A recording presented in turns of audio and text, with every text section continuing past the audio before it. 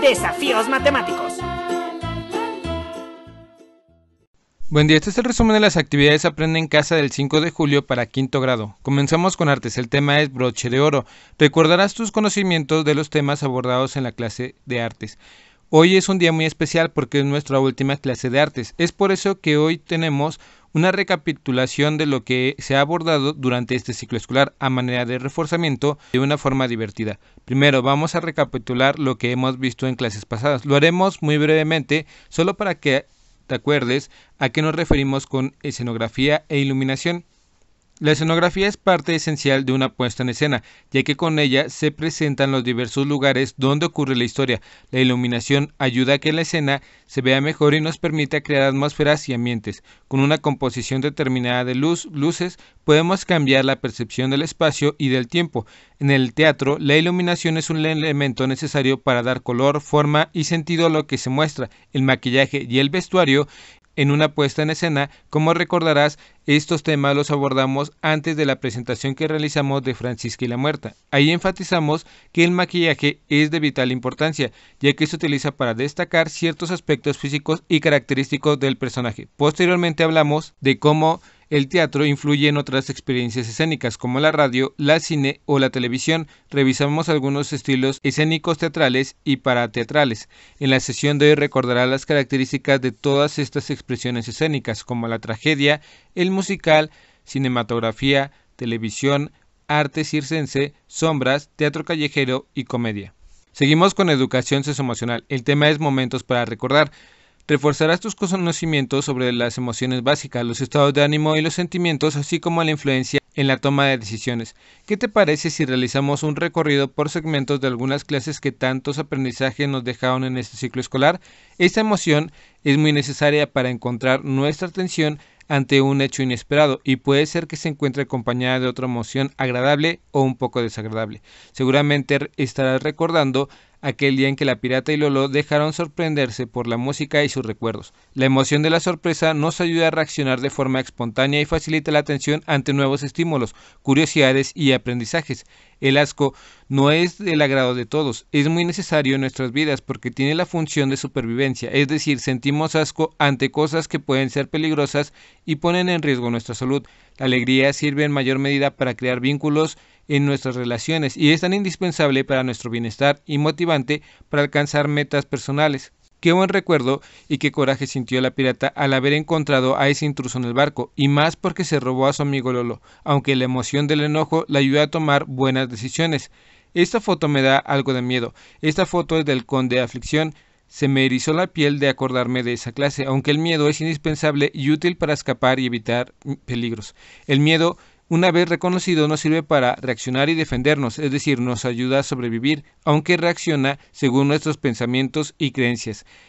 Esta es cuando la pirata no quería reconocer su tristeza, sentía pena que la vieran llorar. La tristeza aparece cuando existe pérdida, fracaso y desilusión. Esta emoción tiene una fuerte función protectora para nosotros mismos y promueve la empatía por parte del entorno social.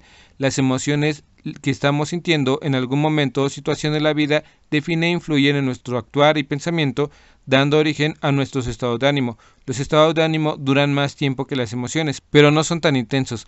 Ellos hacen referencia al humor en el que nos encontramos. Los sentimientos no se generan del corazón como muchos creen.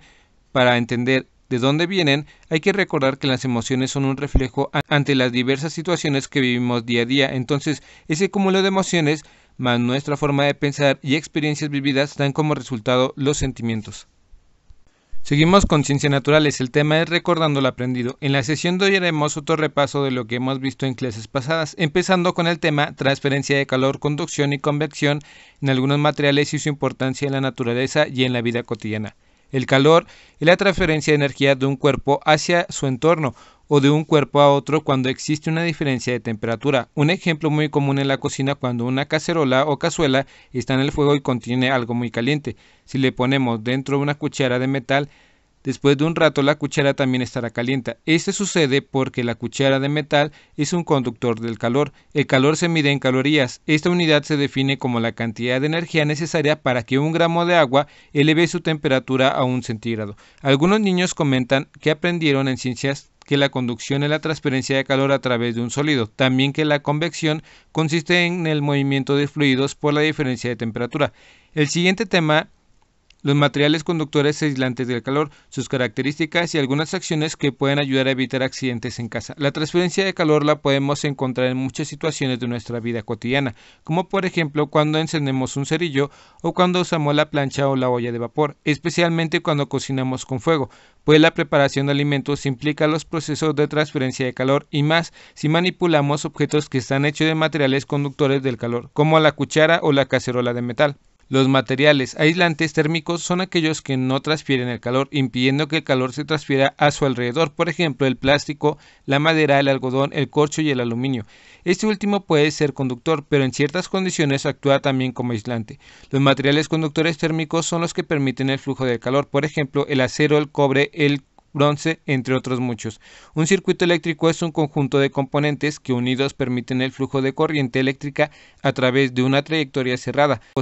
Una fuente de voltaje que establece un flujo y corriente, y la fuerza eléctrica. La trayectoria por la que circulan corrientes puede generar calor. La electricidad es fundamental en la mayoría de las actividades que realizamos todos los días. Es por eso que debemos usarla de manera responsable, ya que es un recurso que utiliza diferentes medios para poder generarla. Algunos de ellos provienen de la naturaleza. En caso usamos la electricidad en muchas cosas. Al conectar los electrodomésticos como el refrigerador, la plancha y la lavadora y el microondas, las fuentes de energía alternativas son aquellas que provienen de recursos renovables, por ejemplo, energía solar, mareomotriz, eólica, etc.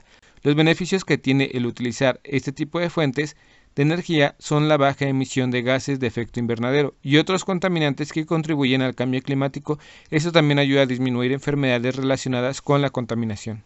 Las medidas de seguridad con el uso de la electricidad son muy importantes para prevenir accidentes y siempre es mejor pedir ayuda a un adulto responsable cuando quieras hacer uso de algún aparato que funcione con energía eléctrica la rapidez y la relación entre la distancia recorrida y el tiempo empleado en completarla. El tiempo es el intervalo de duración de un fenómeno y su unidad de medida es el segundo. La distancia es la longitud total de la trayectoria realizada de un móvil o persona entre dos puntos. Su unidad de medida es principalmente el metro. Espero que te haya gustado esta clase y sobre todo espero que hayas recordado y tengas mucho más claro los temas vistos.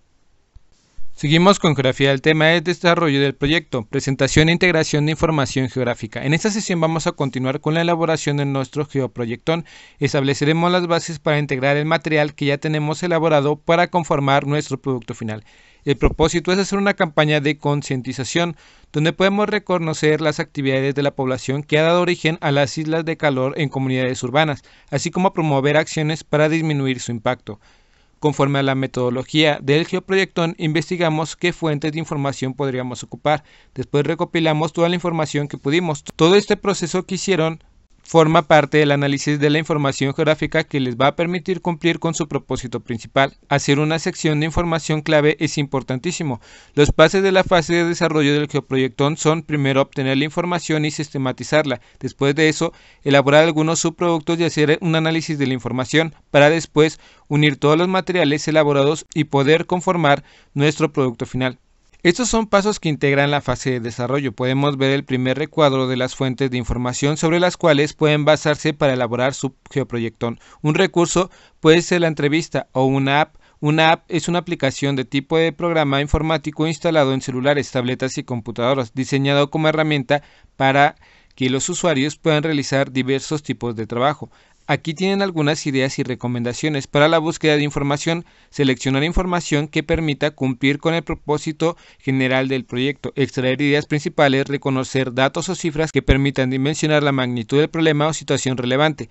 Ordenar los datos estadísticos para posible elaboración de mapas, gráficos o tablas, reconocer la localización y distribución del fenómeno, identificar causas y consecuencias del fenómeno, reconocer acciones para mejorar la situación relevante o, si fuese el caso, mitigar y prevenir el problema, relacionar contexto local con otro continental. El siguiente recuadro de los elementos de las fases de desarrollo corresponde a la elaboración de nuestro producto final. Analiza los productos que se presentan y compártelos con el recuadro de subproductos. Finalmente no olvides el uso de mapas y otros elementos geográficos, además de anotar a los integrantes que participaron en la elaboración del geoproyectón y la asignatura y grado que cursan. Recuerden, su trabajo deberá ser presentado a la comunidad y difundido para que sus propuestas de mejora puedan tener el mayor impacto posible con ello, logren un mayor bienestar en su comunidad. El reto dice el siguiente, te pido que reflexiones sobre las cuales han sido las principales dificultades a las que te has enfrentado hasta ahora en la elaboración de tu geoproyectón. Coméntalas con el resto de tus compañeros y con tu maestra o maestro, entre todos busquen soluciones. Espero que este video te ayude un poco. Si conoces a alguien que le pueda ayudar este video, comparte, dale like y suscríbete. Saludos.